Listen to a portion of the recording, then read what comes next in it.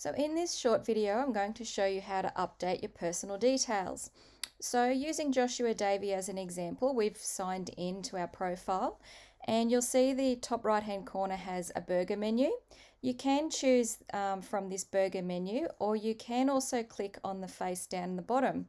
Um, you can change preferred name by simply typing gender and date of birth and contact details at the top here. So if you want to update um, a phone number, you can simply add an extra phone number. These are just examples, obviously. And we can put in, say, work number and submit, and that will add a second one. If you wanted to delete the other one, you can also do that as well.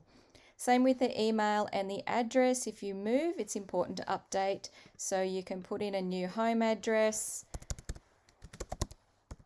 Quite simply, just type it in City, we're just going to say Brisbane.